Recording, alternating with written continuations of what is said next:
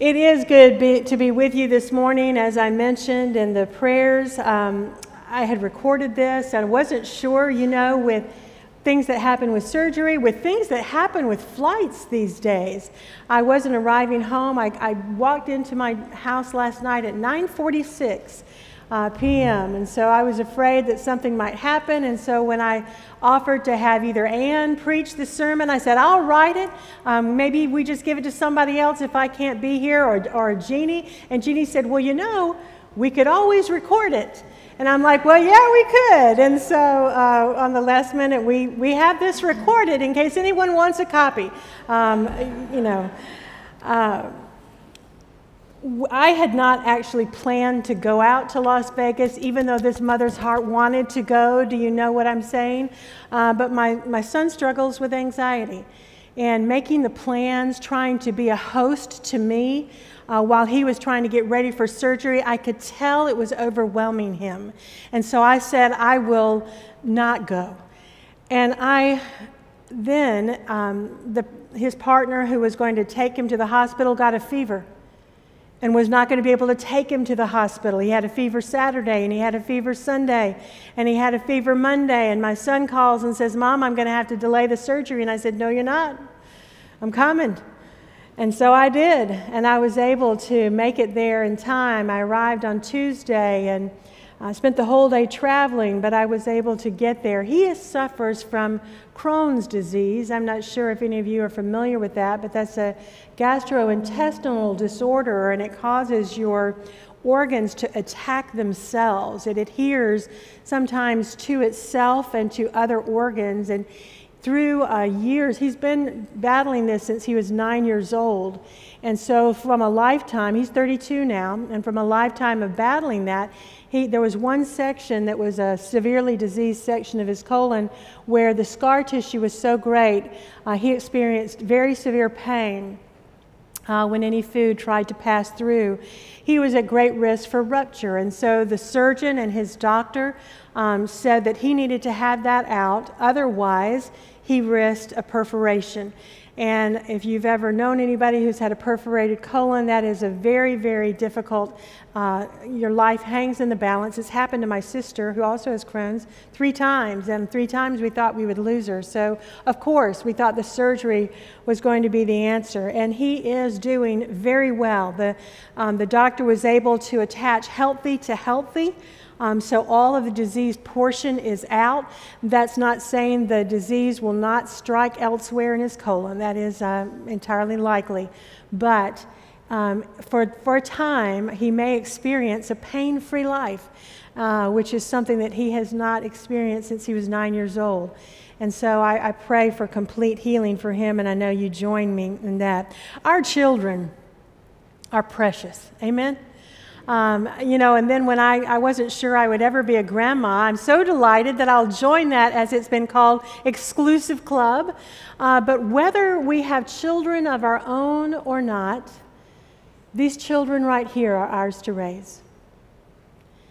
These children in our church, when they are baptized, we take a vow.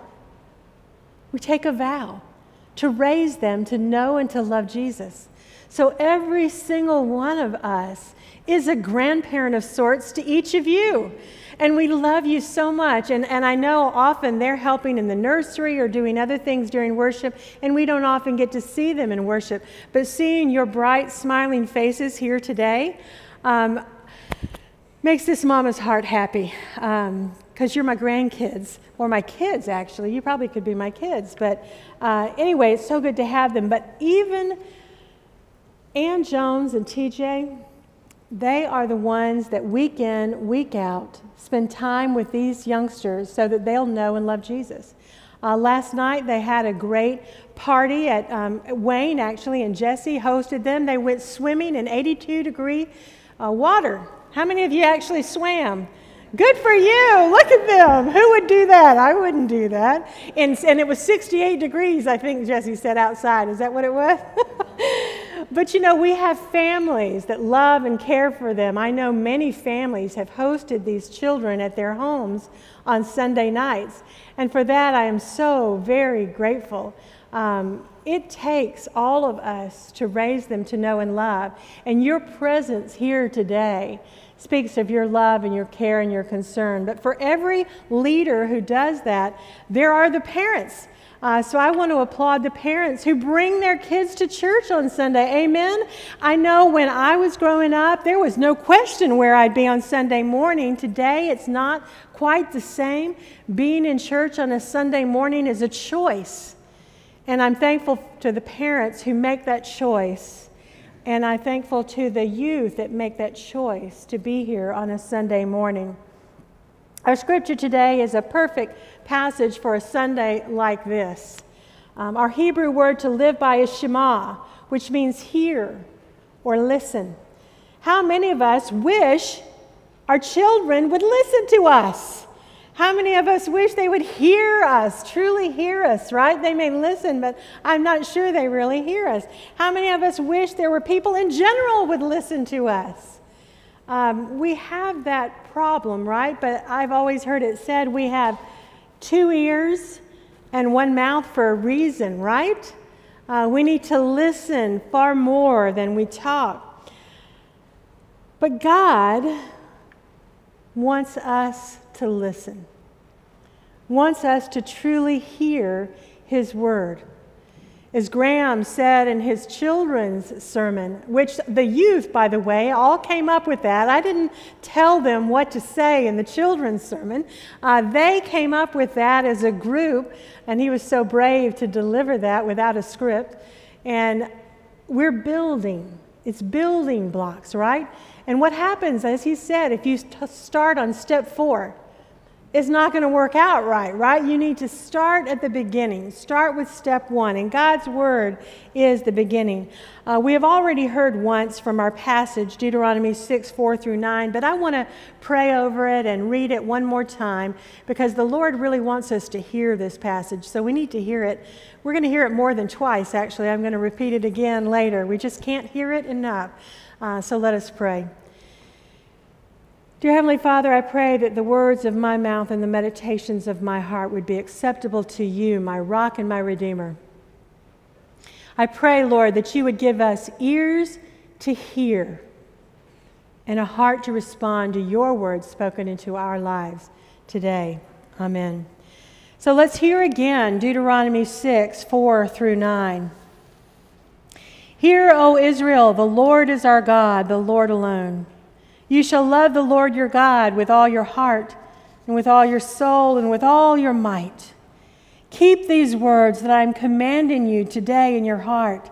Recite them to your children and talk about them when you're at home and when you're away, when you lie down and when you rise. Bind them as a sign on your hand, fix them as an emblem on your forehead, and write them on the doorpost of your house and on your gates. Once again, this is the word of God for the people of God. Thanks be to God. This particular passage, known as the Shema, is our Hebrew word to live by. Um, this is what it looks like Shema, hear or listen. And the word appears in Scripture 550 times between Genesis and Revelation. Obviously, in the Old Testament, it's in Hebrew, and the New Testament, it's in Greek. But this particular passage in Deuteronomy is something that faithful Jews still recite every morning and every night. This is a prayer that they read every morning and every night.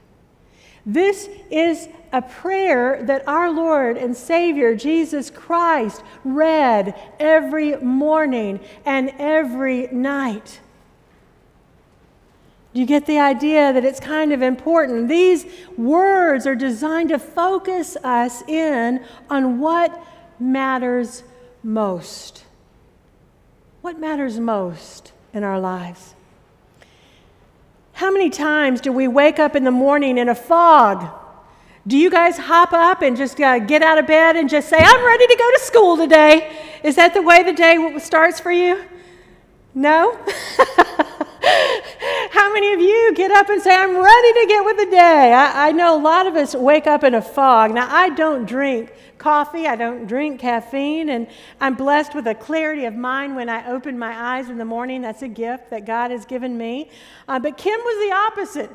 He would actually wake up every morning, he would stumble, and I'm not kidding you. I was concerned when our bedroom was on the second floor and he was going to have to make it to the coffee pot by going down some stairs. I thought, this is dangerous, but he would stumble to the coffee in the morning and he would have to sit on the sofa for an hour I see some nods of approval. You, you understand what that's like? He would have to sit on the sofa for an hour before I even, I knew not to talk to him until he'd had his coffee and his hour to wake up. Can I get an amen? Is anybody else like that? I know, right? I expect most people are like him. It takes a, a minute to wake up, to kind of greet the day with the kind of enthusiasm that you want to have and gain focus. I will confess that these days I wake up in a fog and I'm a little disoriented as the reality of my life sets in. But however we wake up in the morning, there are moments in all of our lives when the stress of homework or exams or work, the weight of unanswered emails or texts, sickness, tiredness, even financial pressures can steal our focus away from what matters most. What our passage today teaches us is that this struggle to focus is not new. This is something that people in all ages and places have struggled with. It is not new. The pressures may be different, but they've always been there and they'll always be here from generation to generation. The Shema is a prayer spoken when we wake up to center us on God. It draws our focus away from the world and everything that would distract us to the one thing that matters most. Shema, hear and listen. These words all imply action. To be an active listener means to participate in the conversation. We're not sitting there waiting to think, well, what am I going to say in response to what you're saying to me? We listen with no response planned. We simply listen and allow ourselves to be guided by what God speaks into our lives. It requires us to be totally engaged to tune our senses to what we're hearing and ask ourselves once they've finished speaking, how do I respond to that? How would God have me respond to that? And there is a difference between having ears and hearing. Jesus gives us a beautiful example in Mark's gospel, and I want to read now from Mark 4 1 through 9 says the parable of the sower. Again, he began to teach beside the sea. Such a very large crowd gathered around him that he got into a boat on the sea and sat there, while the whole crowd was beside the sea on the land. He began to teach them many things in parables, and in his teaching, he said to them, Listen. A sower went out to sow, and he sowed some seed, fell on the path, and the birds came and ate it up. Other seed fell on rocky ground where it did not have much soil, and it sprang up quickly since it had no depth of soil. And when the sun rose, it was scorched, and since it had no root, it withered away. Other seed fell among thorns, and the thorns grew up and choked it, and it yielded no grain. Other seed fell into good soil and brought forth grain, growing up and increasing and yielding 30 and 60 and a hundredfold. And he said, Let anyone with ears to hear listen. A beautiful example of the difference between hearing and understanding. Some hear and they do not understand. Some hear and think they understand. Then others hear and truly understand.